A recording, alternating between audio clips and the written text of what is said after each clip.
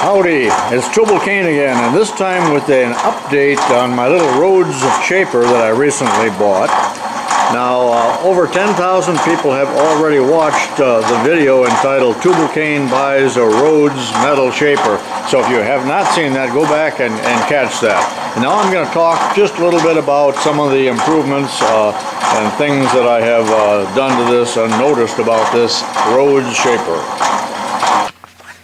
I had never heard of a Rhodes shaper, but this is a Rhodes uh, serial number 1869, and that places this machine uh, having been built sometime probably in the mid 20s, 1925 to 1930, something about in that range. And originally it would have been flat belt drive, and it's been converted, and a pretty nice job of conversion to a V belt with a smaller motor. Uh, even that was probably many years ago. It's in quite good condition. All the scrapings are still there. Uh, however, it is kind of noisy in regards to the gears, so I don't know if there's a wear there or if that's just the nature of this beast. One of the first things I did to this machine was to uh, rewire it with a new cord and a grounded plug. Uh, I like my machines grounded.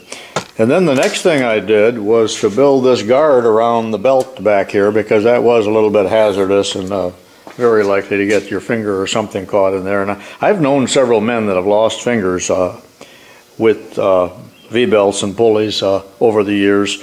And uh, I don't want one of them to be me, but I remember one of the janitors in the early years of my teaching uh, ran his finger through the fan belt on a car and lost part of his index finger on his right hand, and now they call him Stubby. I like a place to hang tools on my machines, so I put this little tool rack here on the side of it uh, using some existing uh, tapped holes in that base, and that way I can uh, hang some wrenches and hammers, and then uh, there's a couple uh, on the front side too. There's still a chip pan there that I tend to put things in. It's probably not a good uh, place to do it, but you got to have some place to put things.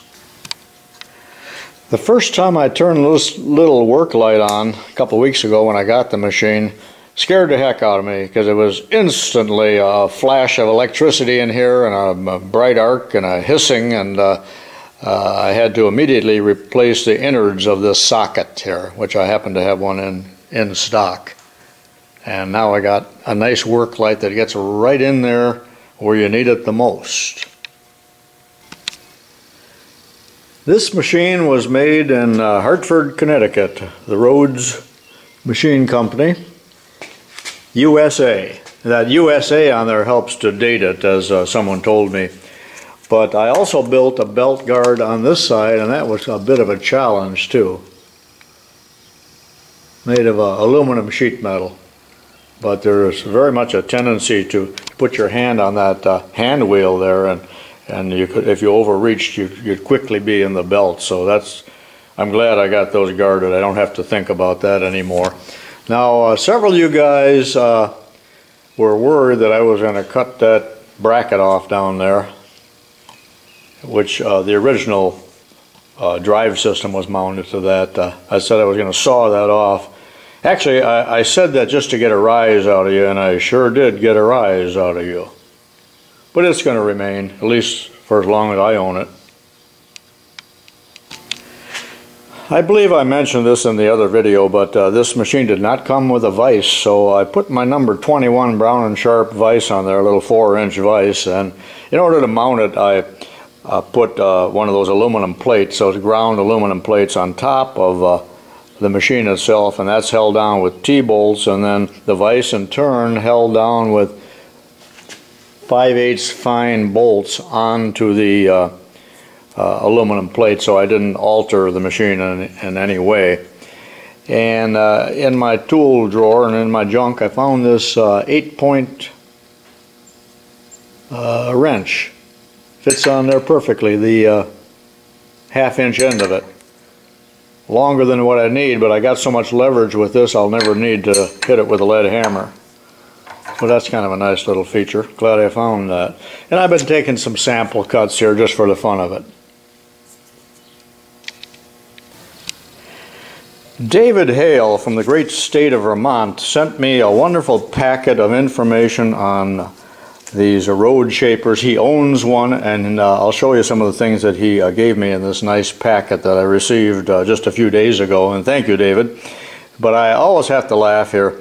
He packed this really well, and there's a piece of cardboard in here, you know, to stiffen it, and it's marked "Do not bend, do not bend." But the, here at the top, the envelope was quite mutilated and the post office put on received in damaged condition. But what slays me about that, and I've seen a lot of other uh, that I received over the years that say received in damaged condition.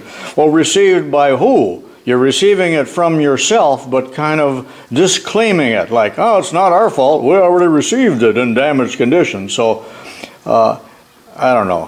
Why is it that uh, FedEx and uh, UPS uh, seemed to get it right. But thank you, David.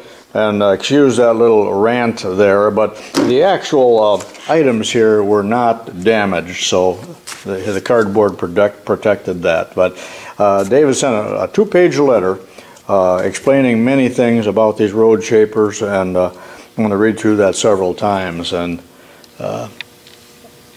you know, I was only familiar with South Bend, Ammco, Sheldon, and Atlas and the J line uh, shapers, and they were all seven inches. So that was a common size, but I had not heard of this, but it sure seems to be a quality piece, even though shapers are totally outmoded. And I had a laugh. I got a, a email just the other day, or a, yeah, I guess it was an email from a guy works in a shop and he said that they still got a big old shaper there and he said the only thing we use it for is to crush beer cans because my boss likes to drink Pabst Blue Ribbon and we smash the cans in there. So back and forth, back and forth, yeah. Kind of humorous, I thought. So there's a picture of his uh, shaper in the bed of a truck. Color print too. And there it is. Uh, he said it was uh, wet and damaged when he bought it, and he totally disassembled it. There it is in pieces. And that's the vertical uh, shaping attachment. I do not have that. I wish I did, but I'll show you that in some of the Rhodes literature here presently. And that's the setup that he's got on there for uh, uh, the, the motor drive. A little different than mine, but not a whole lot.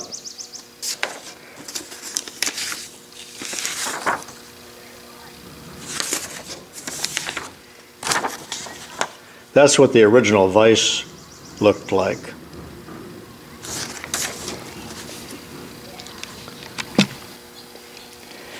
This is apparently uh, pages from the original Rhodes uh, literature.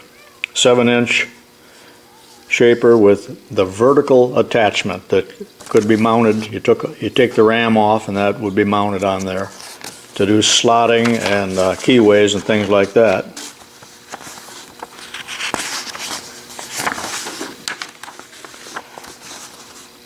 Some of these came with a uh, tilting uh, bed right there. Uh, that's not the right word for it, but the whole thing would would swivel like that. That was an option apparently. I think about 5,000 of these were manufactured over the years. There's the vertical slotter in position. And you could get a rotary table, and that's what the drive looked like originally, with a GE motor. And all the specifications. Pretty awesome. These are reprints from articles from the Machinist magazine over the years featuring the Rhodes Shaper as well as other machines. So that was interesting to look at. There's an ad for it in an old magazine from 1912. That ad was run in 1912. I'm not going to show you all of this, but here are the original patent drawings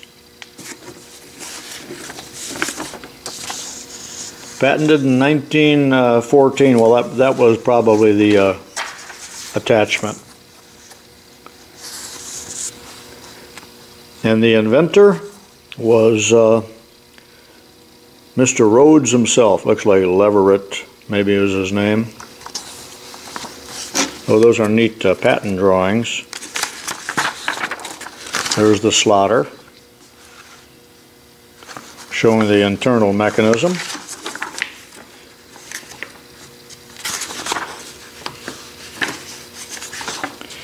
And the description to the patent office.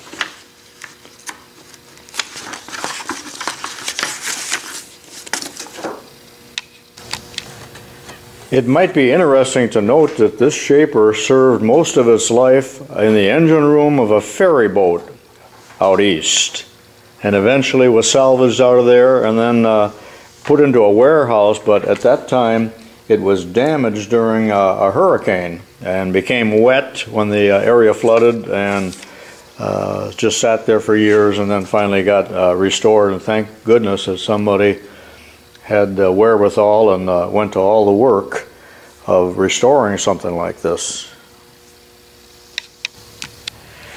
These two step pulleys here are not matching step pulleys. So when you change the belt from one step to another, the motor uh, can be adjusted back and forth, but, but it doesn't have enough travel. So in reality, a fella needs to, to have several belts on hand in order to accommodate the different steps. So I hope to find uh, uh, some step pulleys that match like you would see on a, a, drill press so you can just walk it from one step to another without any other nonsense. And there's the guard that I built.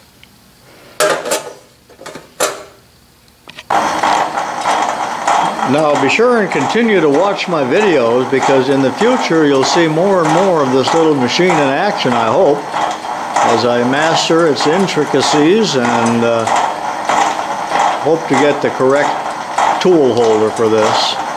But they're a fascinating machine to use, although incredibly slow.